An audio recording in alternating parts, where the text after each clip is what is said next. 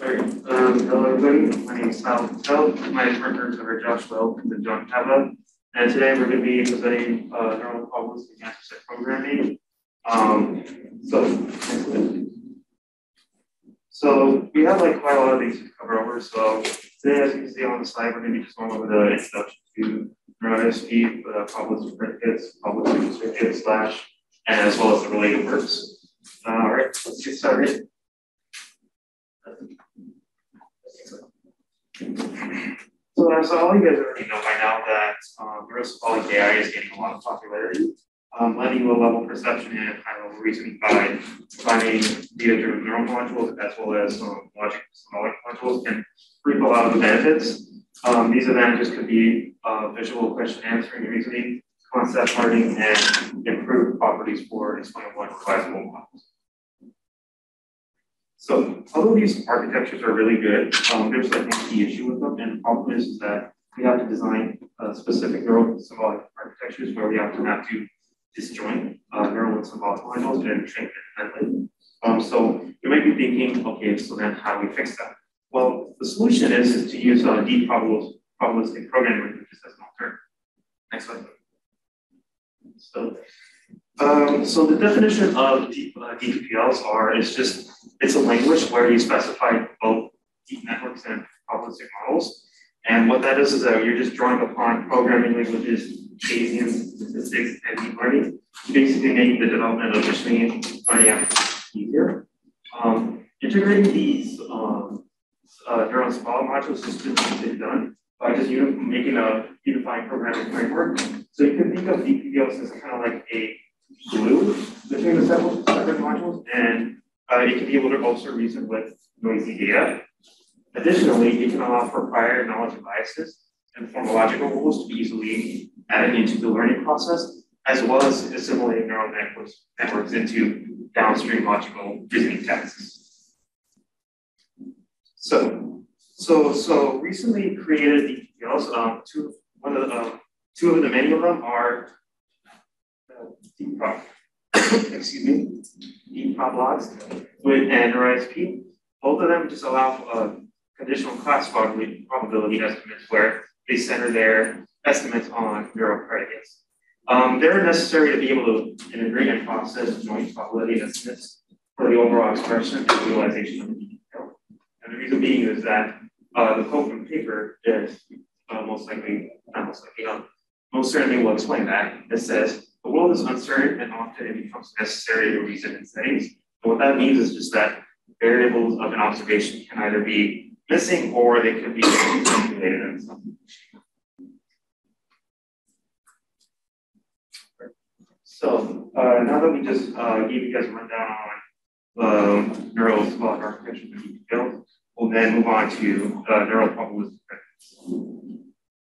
So pretty much what NPPs are, they're just a novel design principle that allows for the unification of, of all deep, deep model types and combinations thereof to be represented as a single probabilistic predicate. They mostly uh, are made up of uh, neural and uh, PC modules, and they act kind of like a unifying term that encompasses neural predicates of a DPPL as well as purely probabilistic predicates. So as uh, Sahil stated, um, these uh, neural probabilistic predicates are a family in which you can be using for this in this paper. So in particular, the neural predicate, which is the neural network with softmax, that was previously utilized in the neural ASP, in which you have a neural network and you take the softmax and you get the classification, which can then be used for future, future uh, work. Then you also have the probabilistic circuit, in this case PC, with a there, on there by doing the probabilistic circuit. But what's interesting is not only that, but you can also incorporate the PC into the neural network. But ultimately, how is that possible? Why is it able to incorporate with the neural network or without the neural network? So what is, what are probabilistic circuits? So I'm utilizing a lot of material from Vergari et al., who were the ones to develop uh, probabilistic circuits in their seminal paper representations, inference learning and applications. But basically what they call their probabilistic circuit is a computational graph over certain variables x um, to encode a probability, probability distribution P of x. And an interesting thing to note here is that it's possibly normalized. Um, so what's interesting is that when I think of um, like graphs or uh, probability distribution, I would also think of um, probabilistic graphical models. And one, one, in, one example of that is like a, um, a Bayesian network. But with a Bayesian network, the inference on that is track, uh, is NP hard, and also you might have to do things like uh, finding the normalization of it. But in this case, um, there are tricks here used here in order to make the computation tractable or that it polynomial um, time. So what's in a probabilistic circuit? So then you have nodes that uh, encode a distribution. In this case, it is a Gaussian um, PDF as signaled by the Gaussian, um, Gaussian curve. But in addition, you might also not want to use a continuous uh, distribution and might need to do some kind of Boolean random uh, variable. Um, now, when you have these nodes, you can then sample like um, uh, with the random variable to uh, use uh, P of X and then be able to um, sample a density or mass. Now, how do we combine this with some, some operators? So one of which is we can do some factorizations as a product of nodes. So take, for example, if you have x1, x2, and x3 as independent, uh, independent distributions, we can get the joint uh, distribution of px1, x2, and x3 by, uh, of course, uh, multiplying them together. On the left is the Gaussian uh, multivariate of this. And in addition, um, with uh, as I said previously, in order to make this uh, tractable, there are some, there needs to be certain constraints. In this constraint, they call this um, decomposability, in which you need to make sure that in, the, in these variables, that you don't have the same one. So x1, x2, x3, they're separate, but if you have x1, x1, x2, that's, that's not allowed. So we have a product of nodes, and then of course, we can have sum of nodes, which is a mixture. So as you can see here, you can have P of X as um, uh, composed of as a mixture between um, P1 and of course uh, P2. And another constraint as um, from previous with the factorization is uh, they call this smooth smoothness. In this case, as you can see here, you have X1 and X1 and that, uh, that is the only thing that is uh, possible when you um, um, add them as mixtures. You can't have, you can't have different, um, different variables, such as x1 and x2. So um, because of that, you are now able to build families of circuits. So as you can see there, you can have x1 as a node, and then you can do the uh, mixture, and then you can do the factorization, but then you can uh, compose on them as a, like a hierarchy. And what's very interesting to reiterate is, as you can see in this portion, um, x1 and x2 are different, therefore you can do the product, and x1 and x2 are the product. But it's going to be then p of x1, x2, p of 1, x1, x2, and therefore you can be able to um, do a mixture of that. Okay,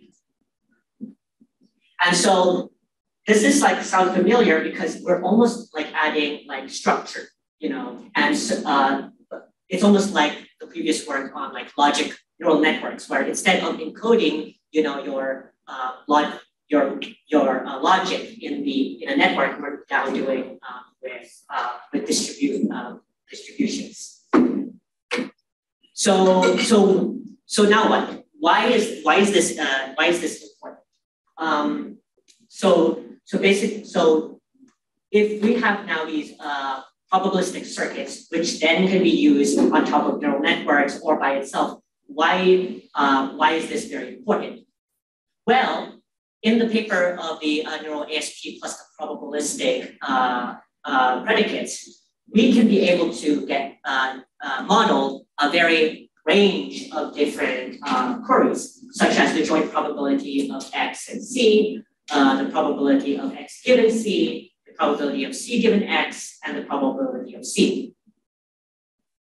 And in the paper, they particularly use uh, they use this in slash, in which you can do you can do plus x and plus c to be uh, your joint probability, plus x minus c to be uh, c given x, and vice versa. And then if you do minus x minus c, you can get uh, the probability um, of, of c. So because uh, when, moreover, uh, the PCs can be very gener generative because um, because since you are able to uh, model the probability of uh, C of X, where it, it was a, uh, when you're doing classification, um, we can do the you can do the opposite thing in which you can model uh, the probability of the data given C, and therefore we can really generate um, um, we can really generate from possible missing data. Um, so that so that's uh, that's the case over there.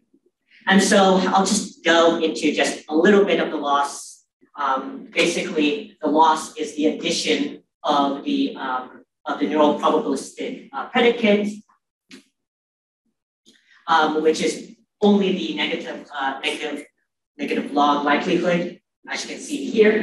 And then the second one is the uh, called the entailment, which is the loss of queries uh, when the when the neural probabilistic uh, predicate is fixed. So the, this is this is the uh, prediction of the predicate, uh, but this is the prediction of the predicate when everything is fixed. And of course, this is the, the loss given the um, given by the queries from the program type.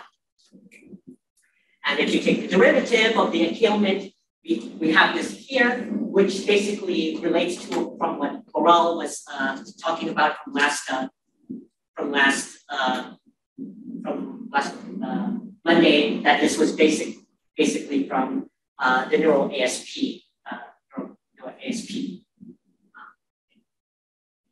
And then lastly, if, if you take the neural um, probabilistic predicate, the log, negative log of that, um, you take the derivative, that becomes one over the inside. However, this derivative is based upon which, which uh, no probabilistic predicate you use.